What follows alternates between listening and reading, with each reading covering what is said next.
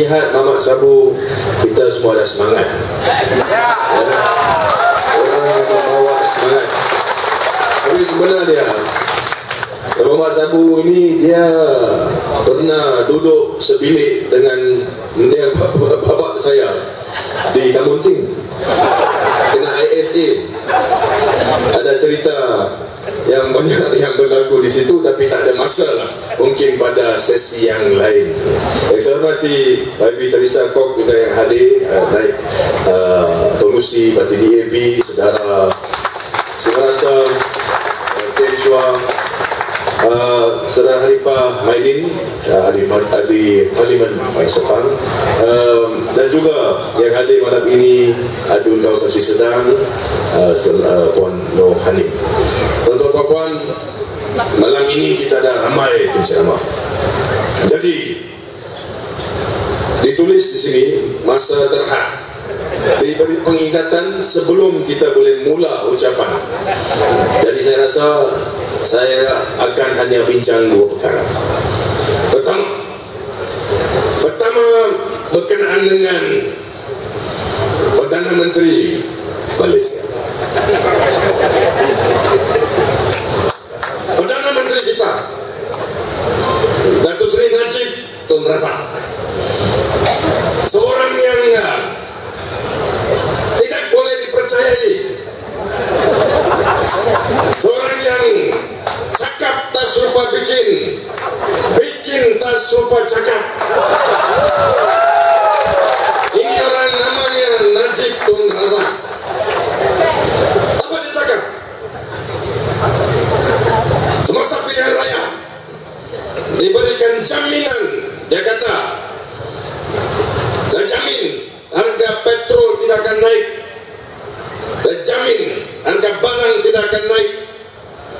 Kita semua tahu selepas menang barisan nasional harga petrol naik. Harga barang naik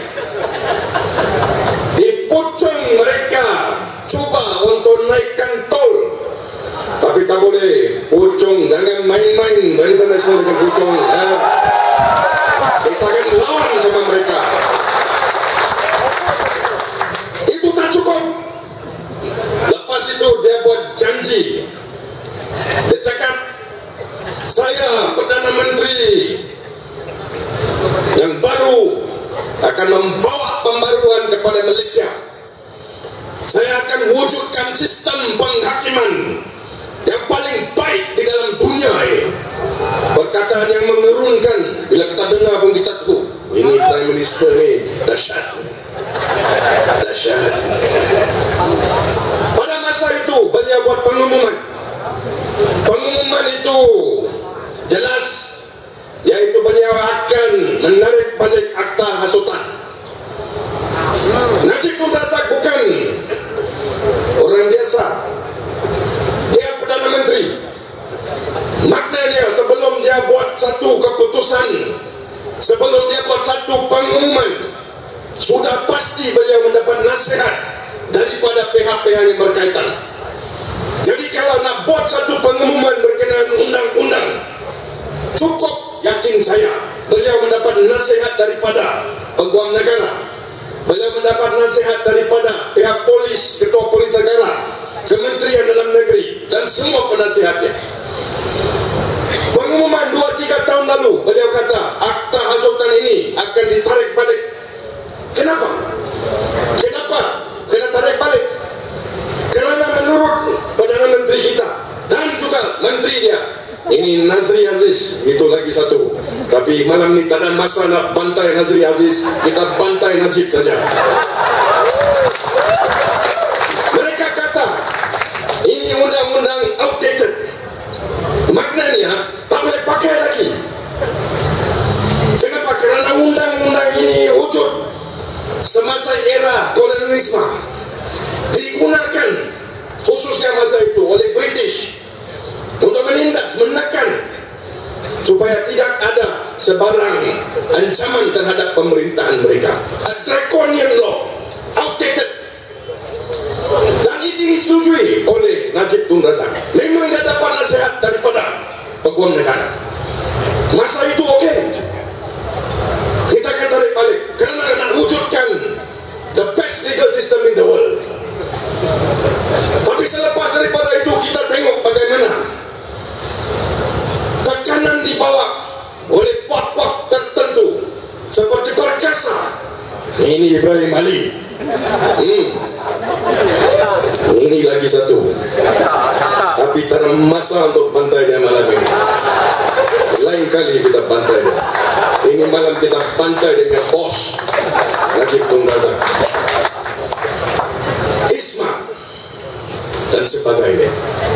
Tekanan di bawah hari-hari baca surat kabar kami hendakkan supaya akta ini dikekalkan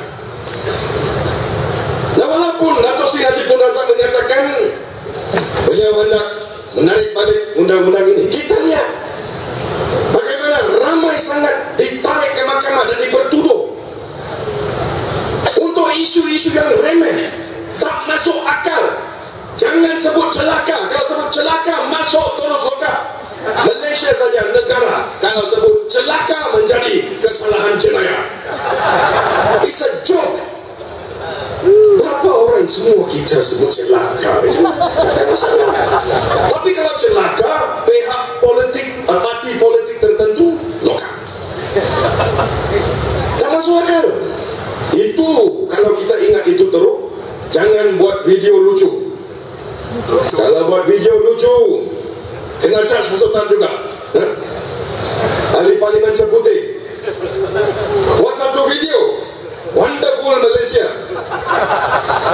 wonderful Malaysia membuat ejekan kepada seorang pemimpin wanita dalam negara ini. Bukan pemimpin wanita. Wanita isteri kepada pemimpin di Malaysia. Rosbah. Hasutan dipertuduh N. Surendran dituduh kerana memberitahu kepada pemberita pembelaan Datuk Seri Anwar Ibrahim semasa rayuan dia peguam kalau peguam tidak boleh bersuara macam mana? Bila kita bagi tahu reporter tanya kita. Koibi dalam rayuan akan datang apakah pembelaan? Kita bagi tahu pembelaan kita sekian-sekian. Dia charge. Hasutan ini bukan satu permainan. Ini bukan satu perkara kecil 2009 mereka tuduh. Kapal sing kenapa? dituduh kerana sebagai peguam memberi pendapat undang-undang berkenaan dengan krisis di Perak memang orang masa itu mereka kata ya ini mungkin hanya membawa tekanan. Tapi kita tengok bagaimana. Tahun lalu, tahun ini sebulan sebelum kemalangan tragedi itu kapal sing didapati bersalah di dalam mahkamah negara menuntut supaya supaya beliau dipenjarakan orang OKU. Penjarakan dia. Tak hasutan. Tak masuk akal. Saya rasa ramai di sini tak tahu pun apa akta hasutan. Kenapa kita dalam Pakatan Rakyat menentang akta hasutan? Ramai yang kata kita dalam negara ini kita nak pastikan keamanan jadi perlu akta hasutan ini yang kita dengar. Retorik daripada ahli-ahli parlimen dan ahli-ahli daripada UMNO sebut begitu saja. Tapi bagaimana kita ada satu undang-undang yang tak ada limit? Undang itu sangat luas. Dia kata kalau seseorang sebut sesuatu perkara yang boleh membawa kemarahan dalam mana-mana kaum itu menjadi kesalahan begitu saya rasa semua orang kalau buat laporan polis memang kita ada kes-kes setiap hari akta hasutan. Tak masuk akal. Ini yang kita bawa. Isu dia kalau kita nak pastikan bahawa ada keamanan dalam negara ini kita sokong. Kita dalam Pakatan Rakyat memang setiap hari kita lihat macam-macam mereka labelkan kita. Mereka menyatakan PAP Parti Cina komunis Konon saya komunis. Saya nampak macam komunis kan? Saya tak tahu. Saya bukan komunis, saya anak Malaysia. Macam-macam di dinyatakan. Tapi kita tengok sebelah sana dalam UMNO dua tiga hari lalu. Baca surat khabar cukuplah, cukup. Hari ini saya tengok dalam Malaysia Insider macam mana dicerca kaum Cina perlu tidak perlu untuk kenyataan-kenyataan sebegini. Sebenarnya Malaysia yang nak menjaga keamanan Pakatan Rakyat kita nak jaga keamanan di Malaysia. Kita nak pastikan bahawa rakyat semua akan bersatu di Malaysia. Itulah matlamat kita dalam Pakatan Rakyat. Kenapa kita sahaja satu negara yang perlukan atas hasutan ini boleh digunakan sebagai senjata UMNO oleh Barisan Nasional untuk pastikan bahawa kita dalam Pakatan Rakyat ditimpa tekanan dari segi pendakwaan. Jadi kita kena menentang. So kita bawa, saya bawa balik kepada isunya. Najib Tun Razak, seorang Perdana Menteri seperti mana yang saya sebut tadi, tidak boleh dipercayai. Itu satu. Lagi satu, kalau saya boleh sebut, adalah Perdana Menteri kepada saya yang paling lemah dalam sejarah Malaysia. Paling lemah. Kerana setiap hari kita boleh lihat apa yang berlaku jelas di hadapan muka kita mata kita, kita dengar kita tengok. Kita tahu apa berlaku. Tapi Najib Tun Razak seorang yang tak tahu dia tak boleh lihat apa yang sebenarnya berlaku.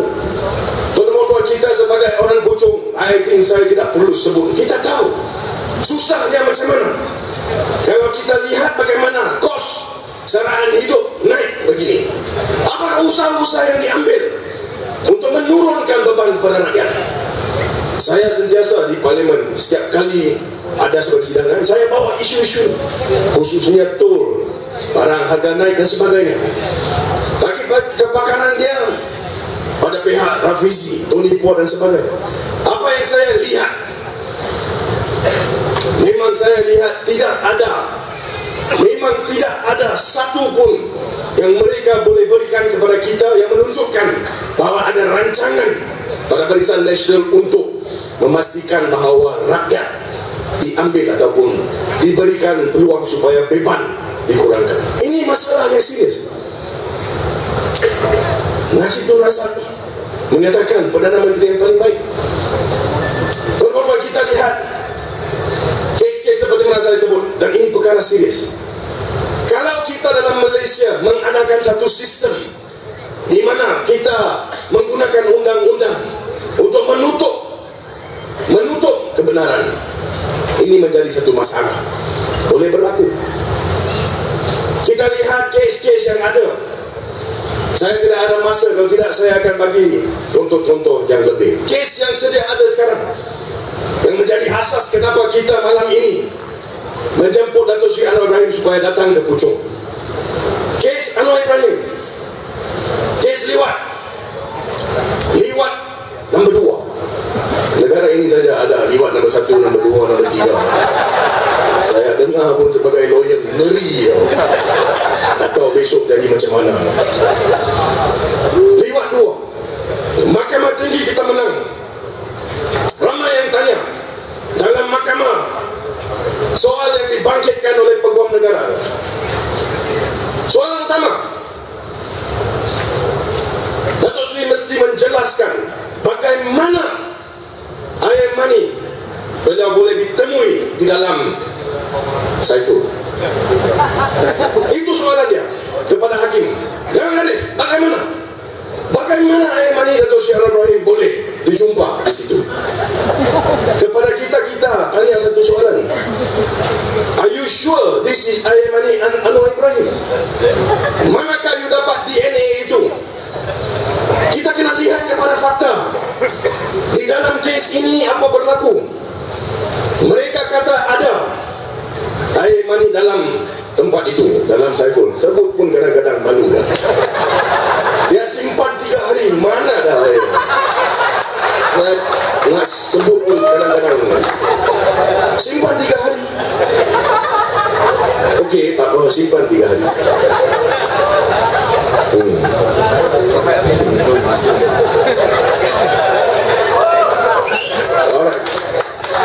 lepas simpan tiga hari mereka tak tahu nak apa ada orang ini dalam sana ada barang sudah tiga hari sekarang macam mana tak tahu jadi mereka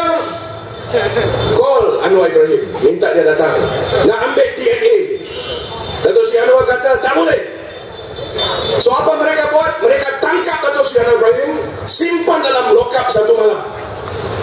Hari kemudiannya mereka ambil tuala berus gigi. Dan mereka kata ada DNA pada tuala dan berus gigi itu. Fakta. Langsung tidak ada siapa-siapa yang nampak Dato' Sri Anwar gunakan tuala dan berus gigi itu. Tak ada. So kita ada brus gigi, kita ada tulang, ada DNA sana. Ah, ini memang DNA sama dalam dalam Saiful. Jadi ini mesti jadi Anwar Ibrahim. Kenapa? Kerana hanya Anwar Ibrahim dalam lokap itu, tak ada orang lain. Itu fakta yang digunakan. Kerana dia seorang dalam sel, dalam lokap, maka tak ada siapa-siapa yang lain yang boleh gunakan brus gigi dan tuala itu tuan-tuan dalam mahkamah kita buktikan pada tuala itu pada berus gigi itu pada mineral water water itu ada DNA orang lain juga yang dikenali sebagai LE18 soalan yang berbangkit kalau benar kalau benar dia kata hanya Datuk Seri Ibrahim yang dalam lokap itu hanya Datuk Sri Anwar yang boleh pegang berus gigi, tuala dan botol itu. Ah, Soalan yang berbangkit Bagaimana DNA ataupun LL18 ini Boleh berada di atas Bruce Lee Ini menimbulkan soal tanda tanya. Kerana ini menunjukkan bahawa ada orang lain Yang mempunyai akses kepada barang itu. Tak ada saksi yang lihat atau siaran bahim Gunakan barang-barang itu. Ada DNA dua orang di situ Atau DNA satu dan LL18 selalu pelik kepada kita. Yang lebih pelik itu Elil 18 ini bukan saja pada brus gigi bukan saja pada botol bukan saja pada tuala dalam lokap Elil 18 ini juga ada dalam saiful. So macam mana? Minta maaf lah jika kena sebut ini law kan ini, ini fakta. Saya nak orang faham Kerana orang-orang tanya saya Kenapa bela sebagai kita tak faham? Bagaimana ada Kesan ataupun Air mani Dua orang Dalam Saiful Ini menunjukkan Ini menunjukkan bahawa Memang dalam kes ini Ada keraguan dan pihak pembelaan telah menunjukkan bahawa memang kes pendakwaan tidak boleh begini. Kita telah menunjukkan bahawa dalam kes ini DNA itu bukan DNA Dato' Sri Anwar Ibrahim dan Dato' Sri Anwar Ibrahim kepada saya memang tidak bersalah untuk kesalahan ini. Dato' Sri Anwar Ibrahim sudah sampai perempuan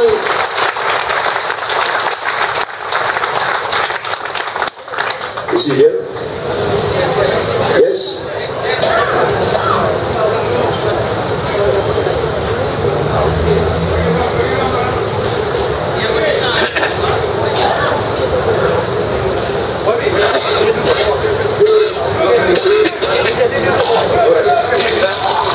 Datuk Sri Ibrahim kata nak duduk bawa pokok sebentar.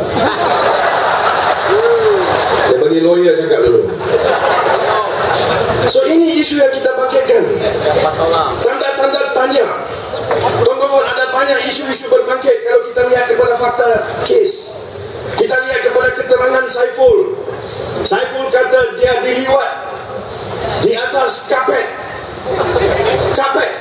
Dia kata dia memang sure, pasti diliwat atas kapet. Tapi keterangan menunjukkan bahawa dalam bilik itu tak ada kapet. Tak ada kapet. Ini bukan Alibaba kapet boleh terbang. Aladin, Aladin. Kes pertama mereka bawa tilam yang silap. Kes ini kapet yang silap. Sebenarnya tuan-tuan puan-puan kita membuktikan dalam mahkamah bahawa kapet itu tak ada dalam kondominium itu. Kapet itu dalam kondominium lain. Itu menjadi satu lagi soal tanda tanya. Yang paling pelik menurut keterangan Saiful pada hari tersebut beliau diliwat Semasa beliau diliwat Ada orang masuk ke dalam bilik itu Dan meletak teh dan karipap atas meja. Kau kena lewat tu. Bos, teh, karipap, okey.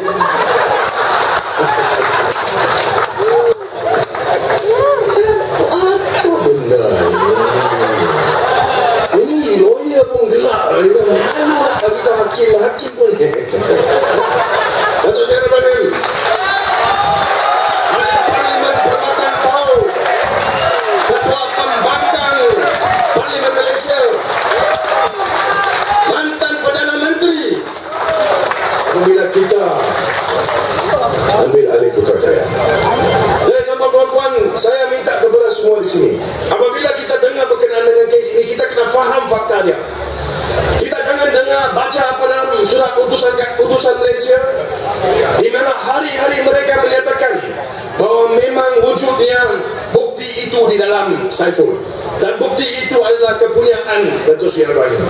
Kita menunjukkan bahawa ada orang lain. Kita menunjukkan bahawa keterangan cerita yang diberikan itu memang tidak boleh dipercayai. Banyak dibangkitkan. Semasa rayuan itu ini menjadi sejarah.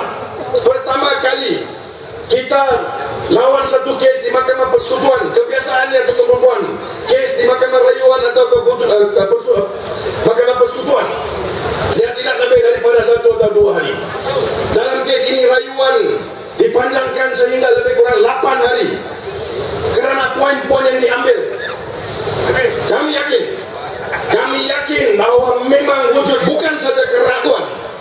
Tapi kami yakin kami telah menunjukkan tanpa sebarang keraguan nasabah bahawa Datuk Sri Anwarin tidak bersalah untuk kesalahan ini.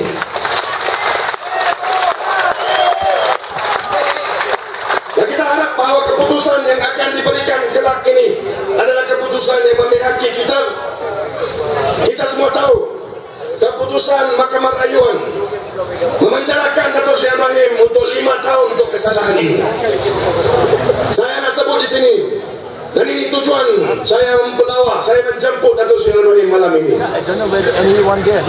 Bagi pihak rakyat kawasan Puchong kami nak menyatakan bahawa kita memang menyokong Datuk Seri Ibrahim. Datuk Seri, we are all with you. Menang kalah, we are still with you. Lawan kita tetap lawan. Betul tidak? We will fight even if you're inside. The fight goes on. So you, Datuk Seri, must keep strong.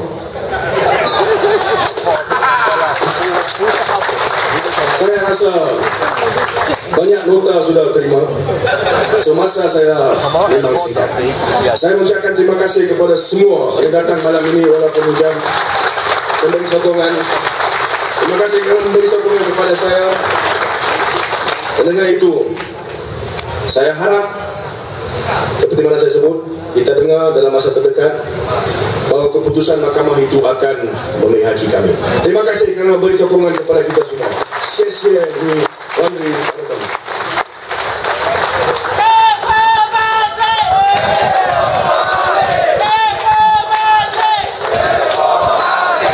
Jadi terima kasih kita ucapkan kepada YB Yang Berhormat Ahli Parlimen Puchong Saudara YB Gobin Singh Deo.